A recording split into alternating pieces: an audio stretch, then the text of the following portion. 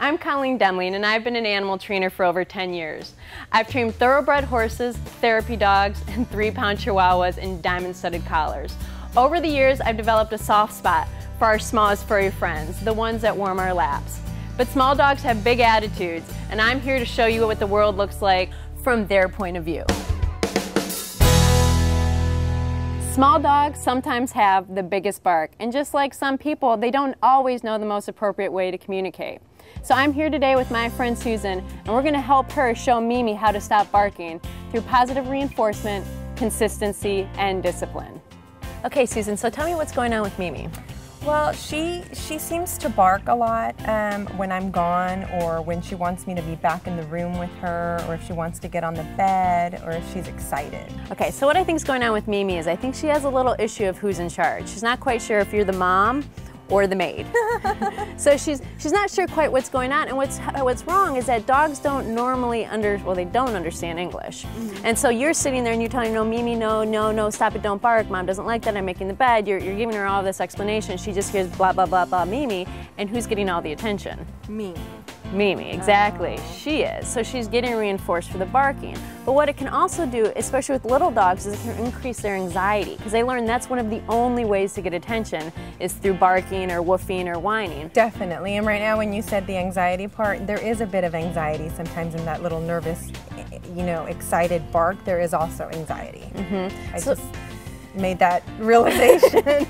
Because she's just not sure what the rules are, what's mm -hmm. going on. And so she, as with a lot of small dogs, since they're not large inside where a lab can kind of run up to you and push you and jump on you and get in your face and you can get attention that way, young, small dogs mm -hmm. go to, towards vocalization. Mm -hmm. Because if she whines, you're likely to say, what do you want? Which I do all the time. And then she thinks, I whine, I get mom's attention. I whine, I get mom's attention. I whine, wait, she's yelling at me. Yeah. My mom's crazy. Yeah, you're right. Which helps to bring out that behavior even more. So that's what we're going to address a little bit today. Okay. The command we're going to teach her first is leave it. Leave it basically means don't touch something. And what it helps her learn is there, even though there's tons of things around, like the treats that I want, the bed I want to jump on, you coming and going, there's times when mom's going to tell me I can't have it, and I just can't have it. It just helps to defer attention to you, okay? okay. So here's her favorite little treat. Here, girl. I'm gonna put it on the bed and I'm gonna tell her to leave it. Okay. She's obviously gonna try to go for it. Oh yeah. Yeah, she's like, I love this is my favorite treat ever. I'm just gonna tell her no and gently push her back. The key is not to get louder, it's just to be firm, okay? So this is what it's gonna look like. Mimi, leave it. Uh-uh, leave it. Good girl. Good girl. And if you can see, her tail's wagging because I'm now showing her, no, leave it. Good girl. I'm showing her a positive way to get attention, which is ultimately what she's looking for. The second thing you're gonna do to help with this is if you tell her leave it and she doesn't, you're gonna let her drag a leash around for about a week. You're just gonna step on the end of the leash because that will prevent the chase game, and you're gonna put her in the bathroom for a two minute timeout. Okay. She's barking and woofing to get your attention. Yeah, I was just gonna ask. right? So if you put her in the bathroom, she'll start to learn bark and woof separation instead of bark and woof attention. Okay? It's kind of like giving a child a timeout. Okay. If you want to throw a tantrum, you throw a tantrum, you're going to stay in your room till you're and quiet. And I'm going to ignore you. And I'm going to ignore you. And when you decide to be an adult, you can come out and join us again. Okay. okay? Great. Good. So try that and she's going to show great improvement. Planning a relaxing vacation to a tropical island or a weekend getaway to Vail. Or maybe you just work long hours and you don't want to see your little one sitting home alone all day. Well, we have the place for you. Today we're at Fido & Company, a luxury canine country club that offers daycare, spa, and grooming services so that your little one will be happy and relaxed when you get home. So when you're looking for that perfect doggy daycare for your little dog, there's some quick tips to keep in mind. First, make sure you have an educated staff. There's gonna be a lot of dogs in action going on, and you wanna make sure that they're gonna be able to stop that little argument from becoming a huge fight. Tip number two, make sure your little ones are separated from the big dogs. You don't want that lab to accidentally hurt your Yorkie while they're playing fetch.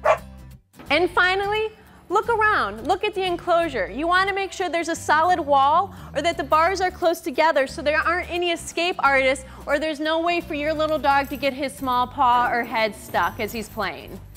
So we're here with Lisa and Butkus. Now Lisa, this is a serenity room. I don't even have a serenity room. well, not, not many of us do. Um, this is uh, all for the dogs. And you can tell he's enjoying they it. They love it here. They really do. Well, this, this is where we do our um, our spa treatments. We do massage and Reiki. Um, we also do our pedicures and our facials in here. Well, now, do you have to be a dog? I mean, I could use a massage I know, I know. some of these treatments too. Actually, we do we do a spa day for you and your dog. Oh, really? Mm -hmm. And what are some of the benefits? Butkus here so relaxed. Oh, He's he almost is. falling asleep. Yeah, yeah. You know, we do it kind of fun sometimes, just for you know, like a spa service, like a Serenity um, treatment. But we also um, do it for therapeutic reasons. Um, we have we work with a massage therapist here. She's a registered RN. Oh wow! And she's been um, doing this for about 15 years, and she works only on dogs. So as you look for that perfect daycare for your little dog, keep in mind the golden rule. If you wouldn't leave your child there, don't leave your dog there. For those dogs that weigh less than 15 pounds, sometimes it's hard for their little legs to keep up with ours. So if you're constantly on the go and you want your furry friend right by your side, you may want to consider a stylish purse. We're here today in San Diego, California at Tags for Dogs and Cats. If you're looking for a purse that's stylish, functional, and you want your dog to like it, follow me.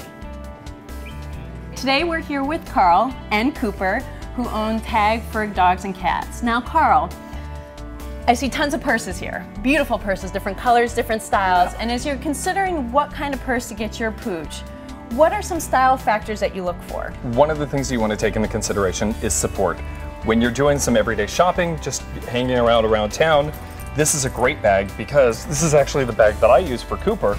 It's great because it has a nice wide shoulder strap. It's easy on your shoulders, it's easy on your back. And then to put them in, you just drop them in the bag like that.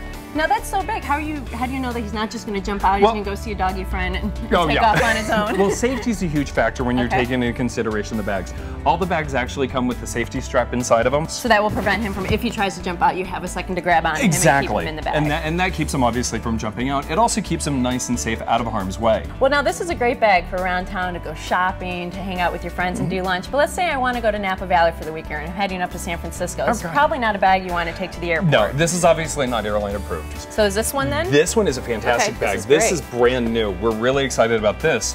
What's nice about this is that it has two handles on it, so as you're putting your dog underneath the seat, there's that. There's not a lot of tipping. There's not a lot of tipping. That's not fun for your dog. But then it also does it does come with a great shoulder strap that you can attach. I have to tell you, I am in love with this bag. This bag's great because you have the versatility of once again, there's the strap inside that can keep calm dogs in like Cooper safe, but then more than anything else, if the dog's feeling a little bit more insecure, you can just zip, zip them right the up. Window. Zip them and then they still have the, the window for a lot of the breathability inside the bag. Right. On the top, the top of the bag is great because it has all these incredible grommets on it.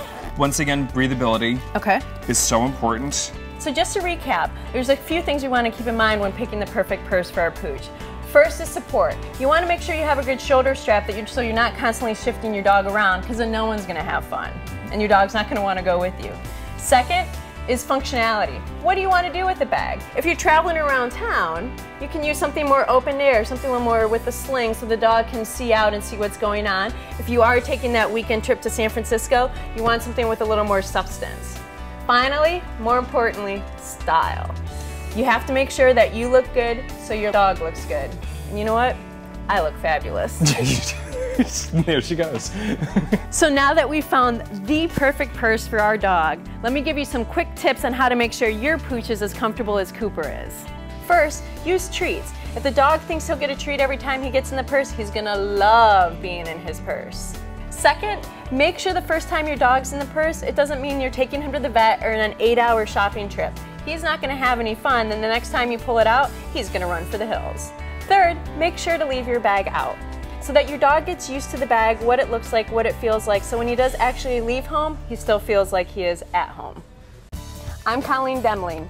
Thanks for joining us today, and please join us next time for another big episode of It's a Little Dog's Life.